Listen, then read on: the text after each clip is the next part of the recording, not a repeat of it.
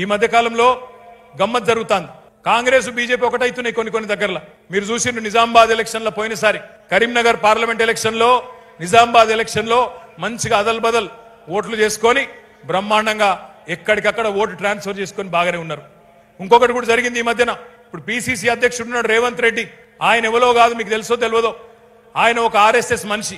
రాష్ట్రీయ స్వయం సేవక్ మనిషి ఆయన సంఘు మనిషి సంఘు పరివార్ మనిషి. బీజేపీ యొక్క అస్సలు సిసలైన అతివాద సంస్థ ఏదైతే ఉంటుందో ఆర్ఎస్ఎస్ అని దాని మనిషి రేవంత్ రెడ్డి. ఇది నేను చెప్తలేను. ఇగో కెప్టెన్ అమరేందర్ సింగ్ అని పెద్ద మనిషి పంజాబ్ మాజీ ముఖ్యమంత్రి కాంగ్రెస్ మాజీ ముఖ్యమంత్రి కాంగ్రెస్ పార్టీ ఆయన. ఆయన ఉత్తరం రాసిండు సోనియా గాంధీకి. సోనియా గాంధీ గారు కాంగ్రెస్ పార్టీ ఇంత దిగజారిపోతుందని నేను అనుకోలేదు. నేను అను- ఎన్నడూ జీవితంలో కలలో కూడా అనుకోలేదు.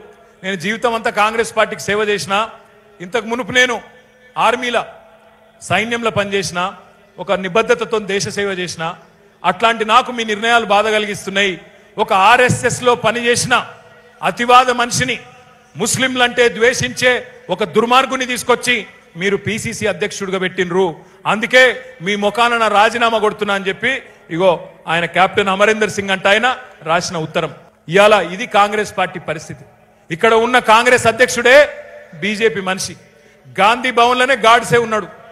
గాడ్సే ఆర్ఎస్ఎస్ ఓడు మీకు ఎరకనో ఎరకలేదు. గాంధీని చంపిన గాడ్సే ఆర్ఎస్ఎస్ ఓడు గట్లాంటి ఆర్ఎస్ఎస్లో పనిచేసిన రేవంత్ రెడ్డి ఇవాళ ఆయన ముస్లింల కోసం నేను మాట్లాడతా ముస్లింలందరినీ రెచ్చగొట్టి బీఆర్ఎస్ బీజేపీ ఒకటి అని పనికిమాలిన మాటలు మాట్లాడితే దయచేసి ఎట్టి పరిస్థితులు నమ్మొద్దని నా విజ్ఞప్తి.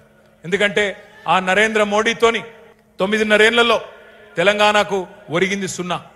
ఒరిగింది సున్నా ఒక్క స్కూల్ ఇయ్యలే ఒక్క కాలేజీ ఇయ్యలే ఒక్క పైసా ఇయ్యలే ఇయ్యకపోగా మనమిచ్చిన పైసలతోనే ఇవాళ వెనుకబడ్డ ఉత్తరప్రదేశ్లో వెనుకబడ్డ బీహార్లో రోడ్లు వేసుకుంటా ఉన్నారు మనం పన్నుల రూపంలో ఒక రూపాయి గడితే కేంద్ర ప్రభుత్వానికి మనకు తిరిగి వస్తున్నది నలభై ఆరు పైసలు మాత్రమే ఈ మాట ఎందుకు చెప్తున్నా అంటే నిన్న ప్రధానమంత్రి వచ్చి అంటాడు మేము ఇన్నిచ్చినాం అన్నిచ్చినాం అంటాడు అయ్యా మోడీ గారు అగర్ లేన్ దేన్ కి బాత్ ఆతీ హై तो किसने किसको दिया हम अगर एक रुपया यहां से टैक्स भर्ती करते हैं तेलंगाना की आवाम तो आप वापस देते हैं 46 पैसा बाकी 54 पैसा कहां जा रहा है किसके मजे से कौन किसके पैसे से कौन मजे लुट रहा है ఎవల పైసలతో ఎవరు సోకులు పడుతున్నారు మోడీ గారు చెప్పాలే రూపాయి మనం కడితే నలభై ఆరు పైసలే వాపస్ వస్తున్నది ఇది వాస్తవం కాదా అని నేను అడుగుతున్నా ఇది రిజర్వ్ బ్యాంక్ ఆఫ్ ఇండియా లెక్క కాదా ఇలా నువ్వు వచ్చి జూట మాటలు చెప్పి కేసీఆర్ గారిని మమ్మల్ని అందరినీ నానా బూతులు తిట్టి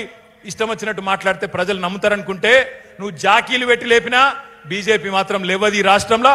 ఎప్పుడో దాని పని అయిపోయిందన్న మాట కూడా ఈ సందర్భంగా విజ్ఞప్తి చేస్తా ఉన్నా.